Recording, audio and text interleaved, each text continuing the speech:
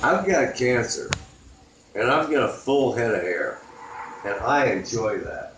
And then, if I don't, I can always go down to Nikki's and put one of these on.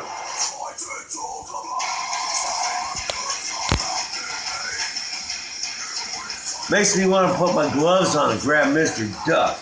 And then, if that doesn't work, I am your everything. I am your love. I am everything that makes you complete. I am God. But no, no, no, no, no.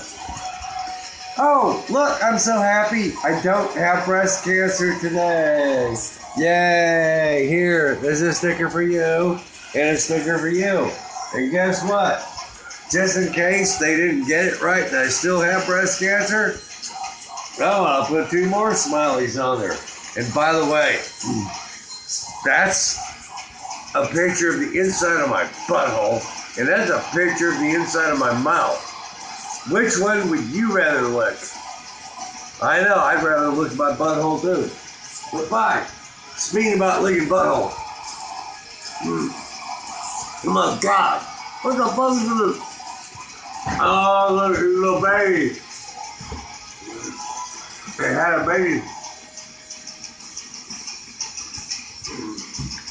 But then eventually you have to get back to being normal.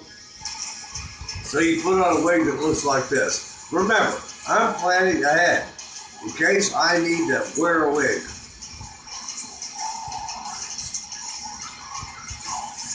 And I will sock it to the Harper Valley PTA.